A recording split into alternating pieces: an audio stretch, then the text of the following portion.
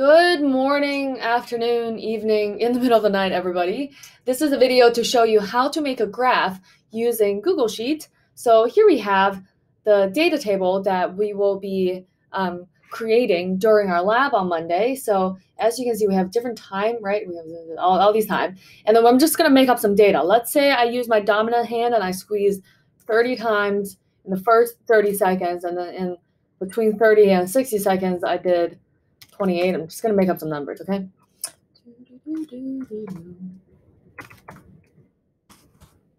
You're going to watch this and you're you're going to think, "Oh, this is this guy is so weak." First off, I am, but, but also these are just made up number, okay? So, so bear with me.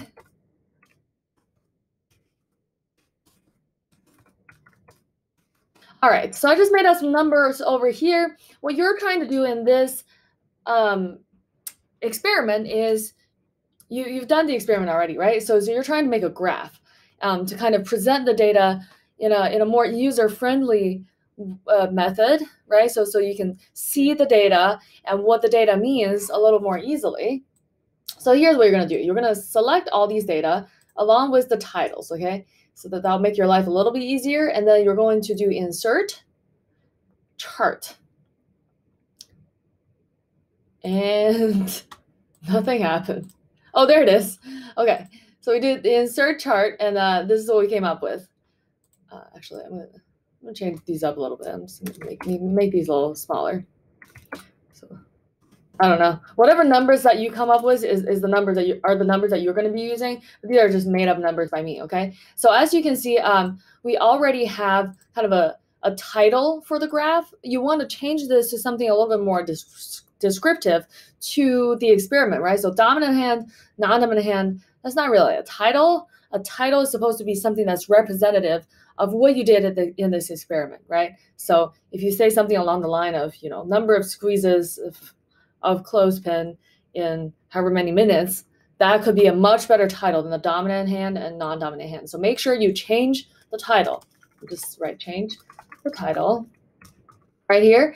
And then the graph uh, very conveniently already showed you two different lines, right? We have one line for the dominant hand, and it shows you the change over time um, of the number of squeezes of the dominant hand, and it showed you the number of squeezes in non-dominant hand and the, the change of number of squeezes over time. But as you can see, we, we have an x-axis, and that's really nice, right? But we don't have any y-axis. So how do we fix that? On the right side, uh, you'll see the setup um, and customize. So I'm going to click on customize, and this is what you will see.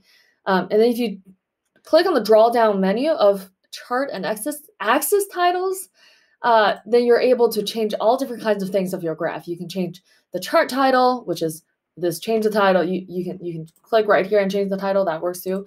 But you can click right here and change the title. You can even change the color of the title. You can do all kinds of things. So you can do that. Um, chart subtitle, we don't need that. Um, we already have a horizontal axis, which is the, the one running left to right. That's our x-axis. Uh, it's time. We already did that. That's great. So now we need to add a vertical axis title. So let's give it a title. We can do number, whoa, an all cap of squeezes of clothes over time. That, that will be fine. Something along that line, but make, make it your own. Don't just copy mine because that's boring. Okay. Um, yeah. So uh, so that's it. That's that's your graph, right? Um, you don't need any of these. You don't need a trend line. A trend line is a straight line. You don't need that. Uh, legend. We already got that. X and Y axis. We already got those. Um, so this looks pretty good, right? So if you're comparing these two lines, you're able to see your dominant hand, uh, my dominant, my made up dominant hand squeeze more times than my non-dominant hand um, over time, and also the number of squeezes decreased over time. So you can think about how that's related to aerobic respiration and anaerobic respiration and how muscle fatigue happens. Okay. So then uh, you need to copy and paste this graph, right? So you can click on this graph. You can do, well, you can do Command C if you're using a Mac, or Control C if you're using um, a PC. Okay, so you copy, and then when you go to your Google Doc, you just do Command V or Control V. I think everybody knows how to copy and paste at this point, right? Um, oh, or you can even click on these three little dots. Oh, and you can do copy chart, and then you can paste it into your lab report. I need to see this graph on your lab report, okay? And then you also need to see this graph, right? Because this is a, a, a better interpretation of the data than just the data itself. All right. So I uh, hope you enjoy the lab. I will see you someday if you're not my student. Bye.